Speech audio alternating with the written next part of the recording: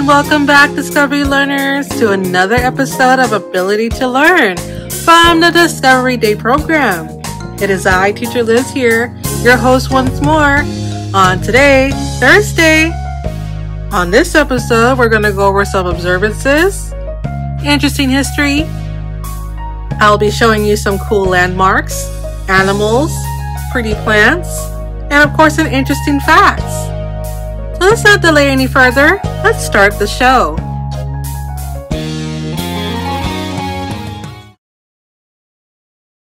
And now for our daily observances.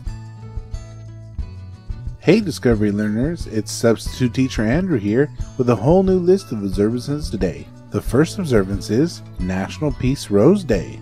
Each year on April 29th, National Peace Rose Day honors a well known and fruitful garden rose. The light yellow, large, cream colored flowers of peace rose have slightly flush crimson peak petal edges. It's a hybrid tea rose that is hardy, vigorous, and highly resistant to disease. As the Second World War came to a close in Europe, the trade name Peace was publicly announced on April 29, 1945, by the Conrad Pyle Co. in the United States. Later in 1945, peace roses were given to each delegate in the integral meeting of the United Nations in San Francisco with a note that read, We hope the peace rose will influence men's thoughts through everlasting world peace. How can we observe Peace Rose Day? Well, that's easy. We can spread the tale of the peace rose, or perhaps go out and purchase a peace rose for yourself. Let us know in the comments section below what you plan to do this National Peace Rose Day. Our next observance is National Zipper Day. National Zipper Day commemorates April 29, 1913, when the patent for the modern zipper was issued. The day celebrates something that we don't often think about and we may automatically take for granted. The first attempt at creating a zipper came from the inventor of the sewing machine in 1851. Elias Howe received a patent for the automatic continuous clothing closure. However, Howe never marketed this invention and missed the recognition he may have received. 42 years later, Whitcomb Judson began selling the clasp locker, very similar to Elias Howe's patent. This device served as a more complicated hook and eye system as a shoe fastener. Judson started the Universal Fastening Company, where he manufactured his new device and debuted it in Chicago World's Fair in 1893. There he met with very little success. Because Judson put his invention before the public for sale, he earned the credit as the creator. In 1906, the Universal Fastening Company also hired Gideon Sundback, a Swedish American electrical engineer. He was highly skilled and known for his devotion to the company. On April 29, 1913, he was granted a patent for the modern zipper, known as the separatable fastener. He submitted the modifications to his invention in 1917. Today we wear a design quite similar to the one Sundback created in his patent. While he may have called them separatable fastener, we know him today as the zipper. By 1923, B.F. Goodrich popularized the word zipper as it applied to the use of boots and pouches. The company even copyrighted the name for a time. That's fascinating. That's my Zipper Day pun. And I bet you're wondering how you can observe National Zipper Day. Well, that's easy. Maybe put on your favorite zip up sweater, or just appreciate the awesome invention that you take for granted every single day. Let us know in the comment section below if you have something interesting with the zipper on it. Maybe boots, or maybe a hat. Next up on the menu is National Shrimp Scampi Day. National Shrimp Scampi Day on April 29th gives us a tasty way to celebrate. On this day, we honor the delicious dish of shrimp cooked with butter, garlic, lemon juice, and white wine. This day is wholly dedicated to the buttery, garlicky, lemony wine sauce preparation of shrimp. Prepare the dish using frozen or fresh shrimp. When serving the dish, add a side of noodles or rice, steamed vegetables, or crusty bread or rolls. Shrimp scampi pairs well with white wine since the dish is light. A rich dessert of cheesecake or creme brulee rounds out the perfect meal. You don't have to tell me twice to celebrate a scampi day, especially shrimp scampi. Let us know in the comment section below if you've ever had shrimp scampi before. Our final observance is National Poem in Your Pocket Day. During National Poetry Month in April, National Poem in Your Pocket Day shares the way poetry brings joy simply carrying one in your pocket. When you share the poem, you'll bring joy to others. There are so many different styles of poetry. This day, however, places no restriction on the rhyme or reason. The goal is simply to share poetry. You may scribble it on a receipt or recite it while walking in line. Add a poem to the back of an envelope on your outgoing mail. Don't be surprised if you discover a poem tucked in a book. You might even find one jotted down on the side of your coffee cup or on the tag on your tea bag. Poems come in so many different sizes they can be squeezed into one square of a calendar or jotted on the side of a pencil. No matter where you find them, I'm sure they'll bring a surprise and joy to both you and the person who gets to hear you recite it. What poem would you carry in your pocket, Discovery Learners? Let us know in the comments section below. Go ahead and comment down below and let us know how you plan on observing, well, these observances for today.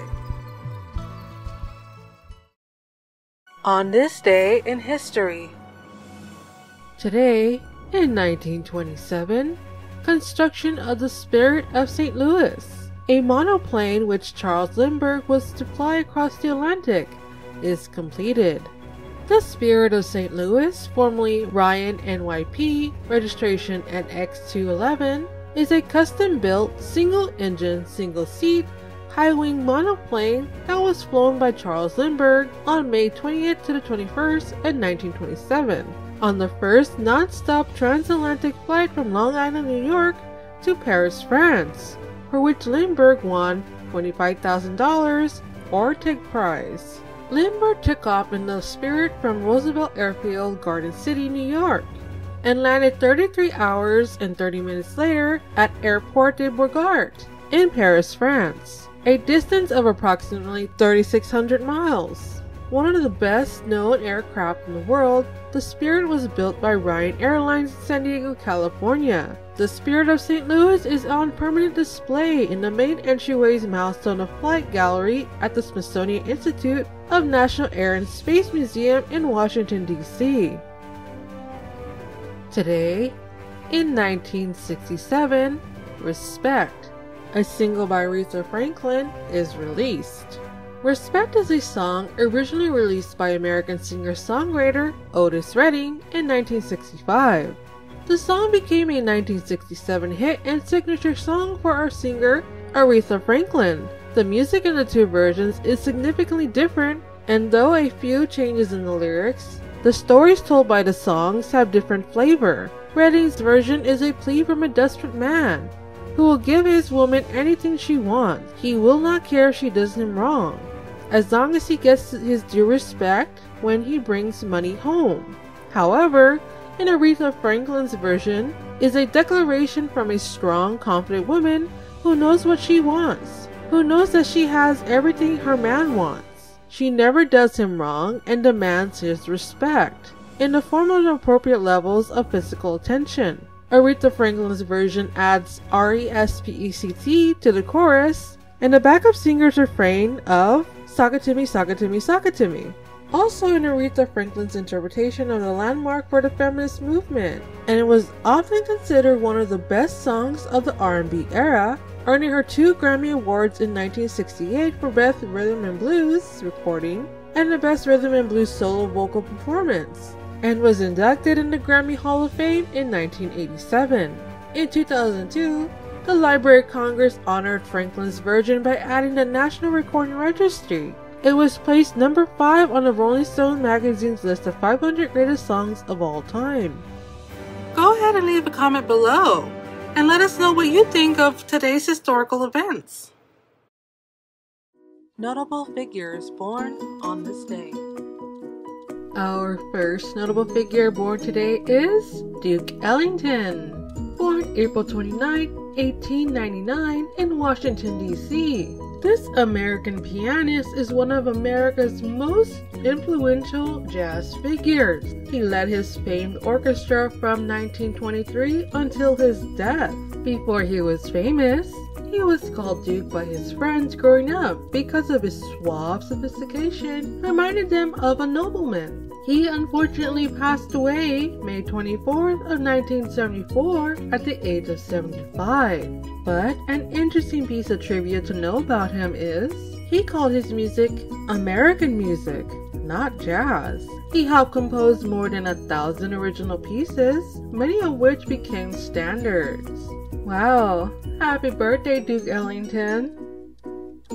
Another notable figure born today is Willie Nelson, born April 29, 1933, in Abbott, Texas. This American country singer, activist, poet, songwriter, actor, and author who helped create the Farm Aid. He has written many country hits, including Funny How Time Slips Away and Hello Walls. Before he was famous, he grew up during the Great Depression and played music for money because he did not want to pick cotton. He wrote his first song when he was only seven years old. He later signed with Atlantic Records in 1973 and became one of the most recognized faces of country music after appearing in over 30 films, including Barbarossa and The Thief. He turns 88 years old today. Wow! Happy birthday, Willie Nelson. Another notable figure born today is Jerry Seinfeld. Born April 29, 1954, in Brooklyn, New York. This American stand up comedian, producer, actor, and writer who co created and starred in the sitcom Seinfeld, which became one of the most popular television comedies of all time. In 2012, he began his internet comedy series, Comedians in Cars Getting Coffee, where he chats with other comedians, tell jokes while they share a cup of coffee. Before he was famous, he tried out for an open mic night at New York City's Catch a Rising Star after graduating from college. In 1979, he played Frankie, a mailman with obnoxious comedy routines on the sitcom Benson until his director fired him. Uh oh. But he turns 67 years old today. Wow, happy birthday, Jerry Seinfeld. The next notable figure on our list is Michelle Pfeiffer. Born April 29, 1958, in Santa Ana, California. This American actress starred in Batman Returns, Wolf, and What Lies Beneath. She also appeared in Hairspray and The Witches of Eastwick. Before she was famous, she won Miss Orange County Beauty Pageant in 1978. She starred in some films around that time, but it wasn't until her appearance in the 1983 film Scarface that catapulted her into fame. She turns 63 years old today. Happy birthday, Michelle Pfeiffer! And our last notable figure born today is Uma Thurman. Born April 29, 1970, in Boston, Massachusetts. This American actress is known for her performances in Pulp Fiction and the Kill Bill films. She took home a Golden Globe Award for Best Actress for her role in 2003's Hysterical Blindness. In 2019, she began starring in Netflix's Chambers, as well as served as a producer on the show. Before she was famous, she was incredibly insecure about her body and herself in general, which was prompted by teasing of her classmates. Oh, she also played Medusa in the 2010 film Percy Jackson and the Olympians, The Lightning Thief. She turns 51 years old today. Wow, happy birthday, Uma Thurman. Happy birthday, everyone. Come along, Discovery learners, and we will see the landmarks of the world. As we continue our journey of discovery throughout Yemen, one of the most exotic country in the Arabian Peninsula, here are some landmarks you should see, starting with some of their natural wonders, like the Hoq Cave. This large cave is approximately 3 kilometers long, with beautiful stalactites, stalagmites, and endemic cave fauna. In the cave have been found ancient ceramics, cave art, and wooden tablets with writings that dated from 258 AD. Writings on the wall of the cave have been left by Arabs, Indians, and even Greeks. Whoa, interesting. I wonder what kind of creatures live in that cave. Next on our list is the Rokeb di Firmihin. This is the best and last forest of some of the most unusual looking trees in the world. the dragon's blood tree. We actually covered this tree on Monday's episode. One of the most unusual forests in the world is located in Rokeb di Firmihin, central part of Socotra Island. This is almost pure stand of the dragon blood tree, legendary trees, which look as if they arrived from a different planet. The dry, isolated Socotra Island has unusual plant and animal life. Out of 825 species on the island, 307 are endemic, which means they're only found in Socotra. The unusual plant life has developed on the island in isolation from the outside world since Miocene for some 20 million years or longer. Thus, most of the trees on the island are unique, such as several species of frankincense trees, myrrh trees, desert rose, and the only known wild pomegranate or cucumber tree. Whoa, and those dragon blood trees are crazy. They look like they're upside down. And not only that, they do look like they belong on an alien planet. An interesting fact about these trees is that they can live up to 650 years. Whoa, that's a long time. Pretty cool. Next on our list is the Great Dam of Marib. One of the engineered wonders of the ancient world, built in the 8th century BC or earlier, the oldest known dam in the world. The original dam was 580 meters long and 4 meters high. Later it became larger. There are also other ancient dams of similar age nearby. The dam has suffered from erosion from the water throughout the years but nevertheless has left a profound influence on the development of South Arabian civilization. Whoa, that's pretty neat. Next up is Old Marib. The ruins of the former Sabine capital city that flourished in the first millennium BC, a distinct culture developed here, even with specific writing. Near the city are found ruins of Maharam Bilqis, or Awam Temple, a row of rectangular columns. This temple of the moon god had a huge importance in the region at the time. Whoa, those are some interesting looking columns. I wonder what they were used for back in ancient times. Our next stop is an interesting one. It's Al Hajara. Al Hajara is a fortified medieval village perched on a cliffside in the Haraz Mountains. Built in the 12th century, these ornate houses are built over the abyss and look very impressive. They're also built on a cliff face. This is really cool. It kind of looks like a video game landscape, kind of like Prince of Persia, if you've ever played that game before. The next landmark is the Al Amiria Mosque, which is actually one of the most ornate mosques in this region. Constructed in 1504, this large structure is rectangular, adorned with six large domes. And what is especially impressive are the painted frescoes inside the geometric and floral motifs in exceptionally high quality. Wow, what a mosque! Pretty neat! Next we have the Shahara Bridge. An old and impressive bridge that was built over 300 meters deep into a canyon around the 17th century. Wow, that bridge is pretty cool. It almost looks as if it was carved into the mountainside. And it looks pretty steep. Like I said earlier, Yemen is a very exotic country and is considered one of the jewels of the Arabian Peninsula, with its medieval cities, archaeological monuments, and the natural wonders of Socotra Island, such as the dragon blood trees.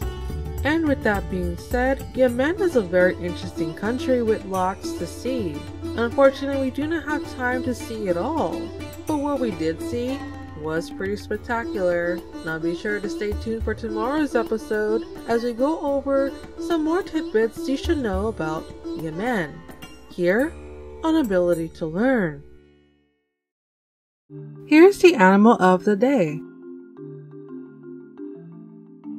Today's animal is the peacock. Most people use the term peacock to describe both male and female birds, but the peacock is actually a name that refers to the male peafowl. Peafowls belong to the pheasant family. These birds are native to Asia, and there are two species of the peafowl the Indian peafowl and the green peafowl. Both types are endangered because of the habitat loss, smuggling, and predation. The male peafowl is called a peacock, while the female is called a peahen. They are one of the largest flying birds. Their length, including their tail, can reach up to 5 feet, and they can weigh between 8 and 13 pounds. They're omnivorous, which means they eat both plants and animals. They like to eat insects, arthropods, amphibians, flowers, and seeds. Their main predators are tigers, leopards, mongoose. When they sense danger, they fly and hide in the trees. They spend nights in trees for that same reason. A family of peafowl is called a bevy. A group of peafowl is called a party. The beautiful, colorful tails you associate with peacocks are characteristic only for the males. The colors of their tail will look differently every time you change the angle of looking at them. Because of the reflection of the light, the tail feathers have an eye-shaped spot surrounded with green, red, gold, and red feathers. The tail makes up to 60% of the peacock's total length. A peahen chooses its partner by the length and width and coloration of the tail of the peacock. Although they are very beautiful, a peacock produces a very unpleasant sound. Females lay 3 to 5 eggs.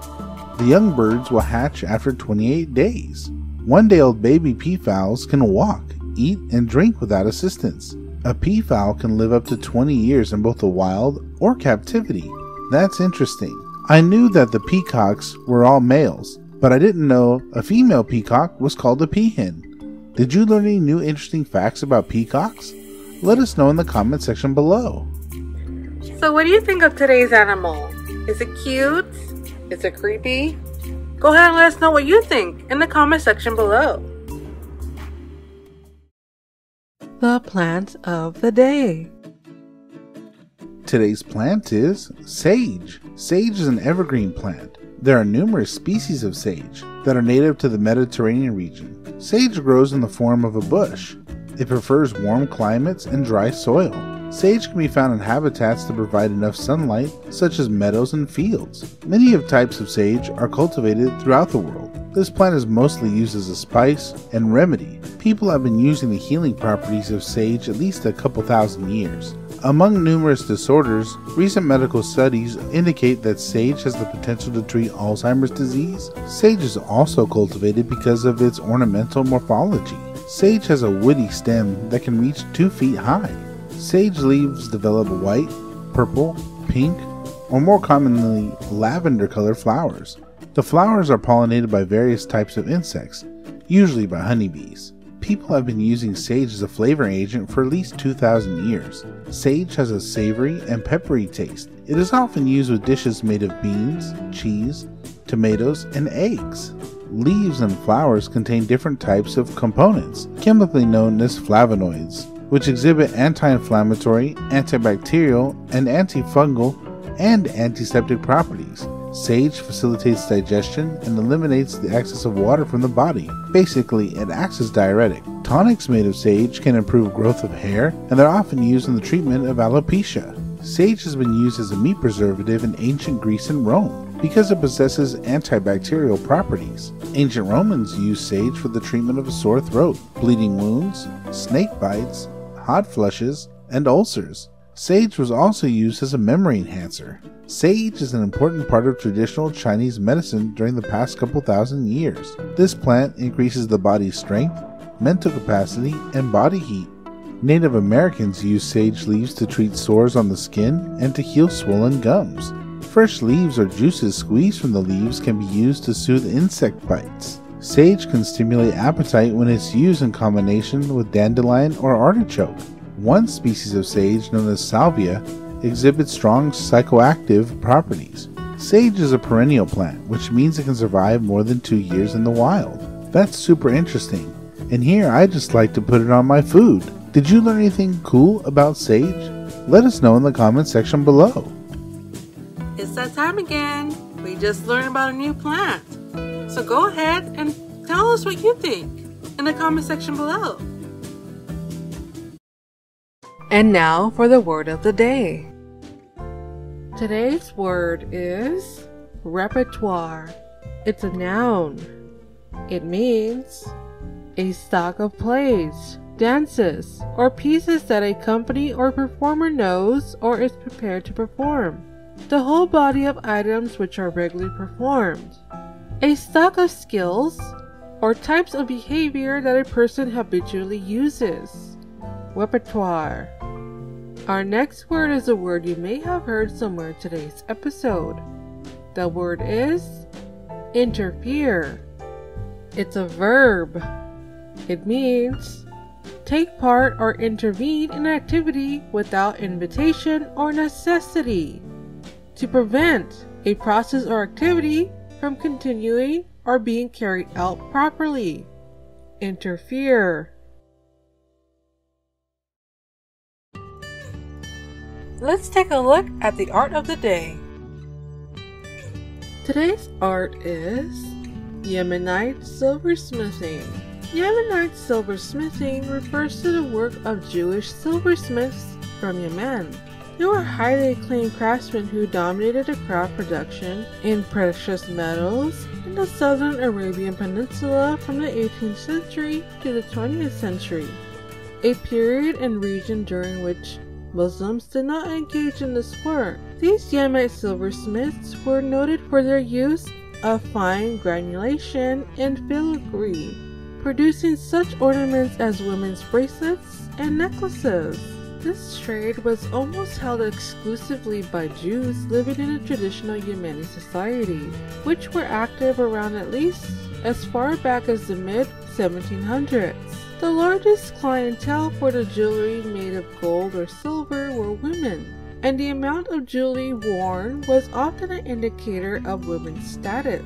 Some Yemenite silversmiths migrated to Israel in the late 1800s, a migration that continued into the early 1900s. Yemenite silver work is noted for its intricate use of filigree and fine granulation. Jewelry containing a high silver content was called by local Jews as to'or, or in the Arabic tongue, malas. The intent of being the jewelries whose silver content ranged from 85% to 92% sterling silver, while the rest being copper.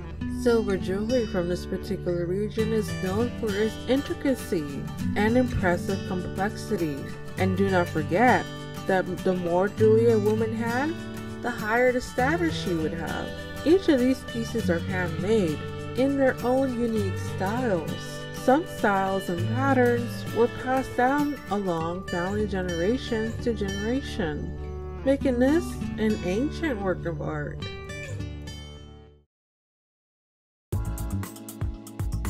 Here is today's interesting fact. Did you know that our sun is actually the color white and not yellow? It's true. The color of our sun is white. The sun emits all colors of the rainbow more or less evenly, and in physics, we call this combination white. That is why we can see so many different colors in the natural world under the illumination of our sunlight. Now, let's say, for example, that the sunlight was purely green, then everything outside would look green or dark. We could see the redness of a rose and the blueness of a butterfly's wing under our sunlight because sunlight contains red and blue light. The same goes for all other colors. When a light bulb engineer designs a bulb that is supposed to mimic the sun, therefore provide natural illumination, he designs a white light bulb not a yellow bulb. The fact that you see all fundamental colors present in the rainbow, which is actually sunlight split by mist, and no colors are missing is direct evidence that sunlight is white. Now that's in regards to visible light that humans can see. We see different colors of the rainbow, but other colors in that spectrum are invisible to the human eye, such as infrared, X ray, radio, gamma, and microwaves along the spectrum. Those are the type of light waves that we cannot see. So I guess you're asking why does the sun look yellow then? That's because of our atmosphere. The different gases such as oxygen and nitrogen and carbon dioxide in our atmosphere change the color of the sun. So yeah, the color of our sun is actually white. Pretty interesting, huh?